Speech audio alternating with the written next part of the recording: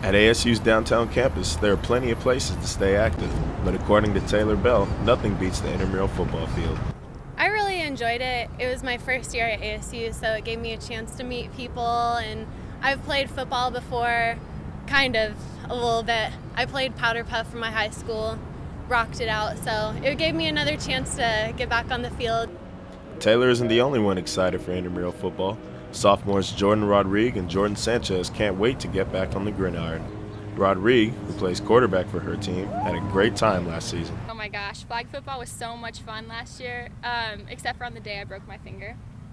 And um, I don't know, we had a really good team and it was really, really fun. It's such an adrenaline rush just going out there and throwing the ball around.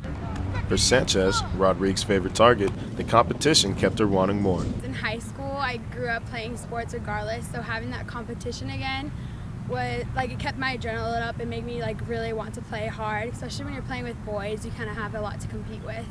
Moving past co-rec, I asked the girls their opinion on an all-girl flag football league. Ooh, that's hard to say because girls are pretty ferocious and they pull a hair a lot.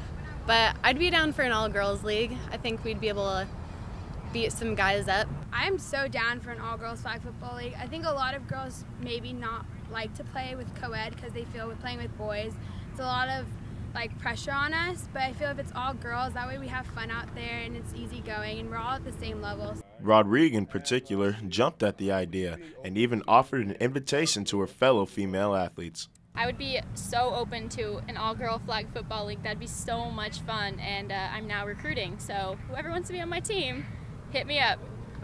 For JMC 305, I'm Marcel Louis Jacques.